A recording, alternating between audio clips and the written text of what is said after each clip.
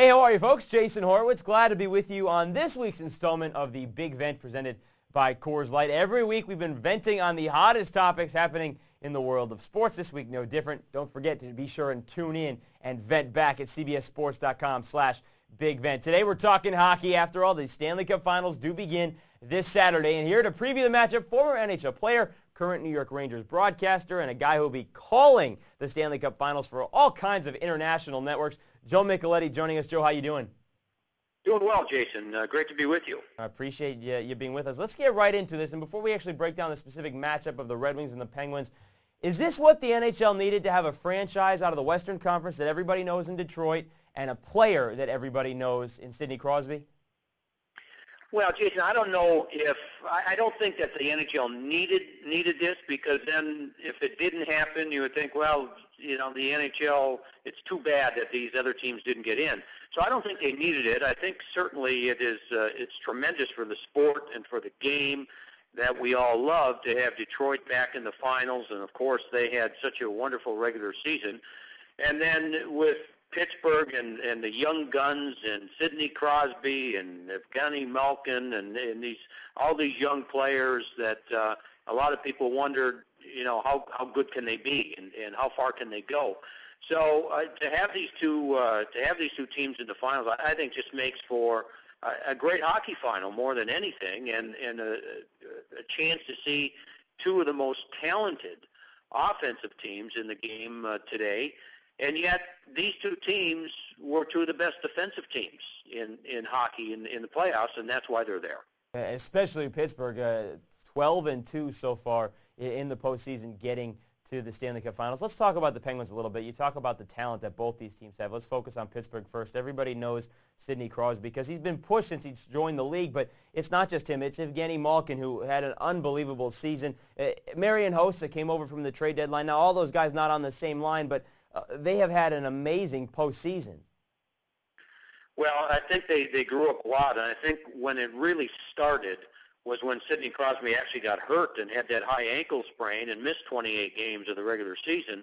And everyone started to wonder, how is Pittsburgh going to do now that Crosby is out of the lineup? Well, what ended up happening is that they ended up getting Evgeny Malkin to not only increase his level of play, but get it to a point where he is one of the finalists for the most valuable player in the National Hockey League. That's how good that he's become, and it got that way because of the injury, I think, to uh, to Sidney Crosby. So you've got two world-class center icemen playing on the same team, and you know, the, and the fact that uh, that Pittsburgh was able to do that was because they were just bad for a number of years, and it allowed them to get these top draft picks once you get there, then you have to make the right picks, and they certainly did that. So you've got a you've got a team in Pittsburgh that's got not only those two centers, but Jordan Staal is often uh, forgotten about because of the the centers that play ahead of him, but he is also a tremendous young player.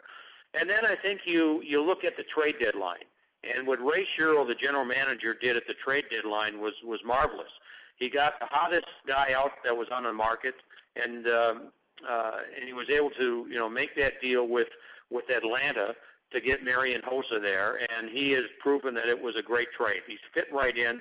He's given Sidney Crosby a wing on that side that can do a lot of different things. And then he, he made some trade to shore up his uh, his defense as well. And add to that the fact that their young goaltender had a tremendous growing season this year, and and now you've got the makings of a team that has belief in themselves, has some of the great young players in the game, and they're very young. And I don't think they feel the pressure as much as maybe some of the older players on other teams. And then that goaltender, Marc-Andre Fleury, one of those top draft picks that you had mentioned beforehand, but uh, he's going up against, and his team is going up against a guy in Chris Osgood who uh, came in in the first round for the Red Wings against Nashville after Dominik Hasek had started. He's been fantastic uh, 10 and 2, 1.65 goals against average, and he is also a Stanley Cup winner. He has won a cup for the Red Wings in the past. Does that give the Wings the advantage uh, between the pipes? I'm not sure, uh, to tell you the truth. I think it's always important that you win, but uh, what has really, which has really stood out for me is that I think most of the question marks regarding Marc-Andre Fleury have been answered. and he was very, very impressive in the series. The, the game that really changed my thinking about him, not that I didn't think he was a very good goaltender and talented, but there's always that, that wonder uh, for a 23-year-old goaltender that hasn't gotten to that level before. And in round number two against the New York Rangers, when Pittsburgh had won the first two games in Pittsburgh, going back to Madison Square Garden in that atmosphere, knowing that the Rangers had to win game number three to have a chance to win the series. Marc-Andre Fleury was terrific in the first period, stopping, I believe, 14 of 15 shots. And so right then and there, I looked at it and I said, this kid has grown up. Has grown up. He's gotten to the next level. So certainly the experience uh, helps Chris Osgood because he's been there for so long and he's redefined his game, I think, this year. But uh, I just think that right now there's so much confidence with Pittsburgh that I think the experience factor is almost a wash. But break that down then, confidence, talent-wise, all of that with Pittsburgh. You've got your you've got your talent, your youth, your exuberance, but it's a good mix because they also have some veteran players there uh, as well. Compare that to what the Red Wings have and break down Detroit. Well, when when you start with Detroit, I think you start with with Nick Lidstrom uh, on defense. I mean, he still and probably will win the Norris Trophy again this year as the league's best defenseman. And then what's happened is that they've gotten some marvelous contributions from from other people, and some of those the people have been no names. So Franzen, who is who leads the leads the playoffs in goals and has been hurt uh, uh, because of the concussion problems, uh, you would expect him to play in the finals. And then you you know you look at uh, a player like uh, uh, Niklas Kronwall on defense, who has really stepped up his game, and some people think he's been better than Nick Lidstrom in the playoffs. Rafalski, who signed as a free agent after spending all those years in New Jersey, also on defense, is a tremendous player.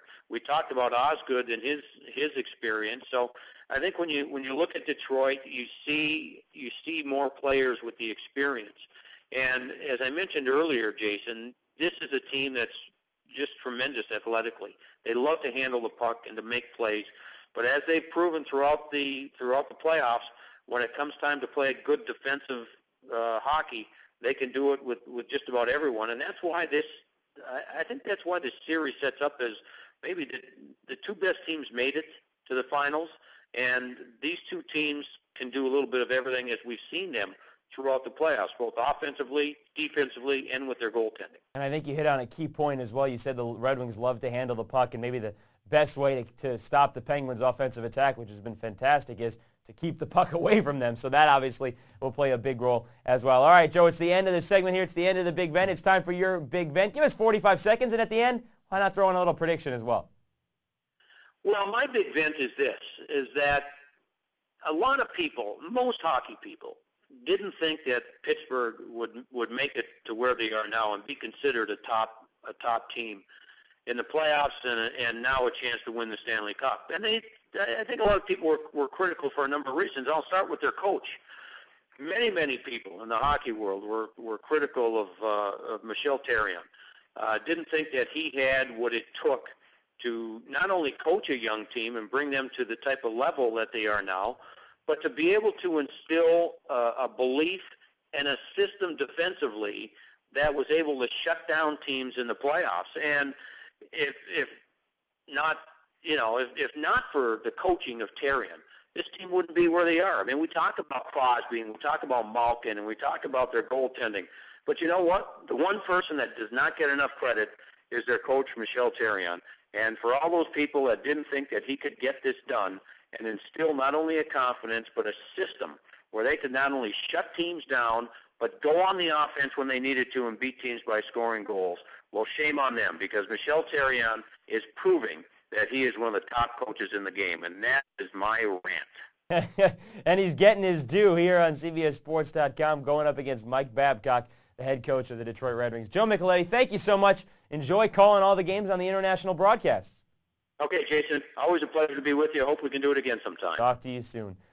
Folks, that's all for our show today. Now it's your turn to talk hockey on our message board. Click or visit www.cbssports.com slash bigvent to vent your thoughts with us. For Joe Micheletti, I'm Jason Horowitz. We want to thank him for joining us. We'll see you next time on The Big Vent. Take care, folks.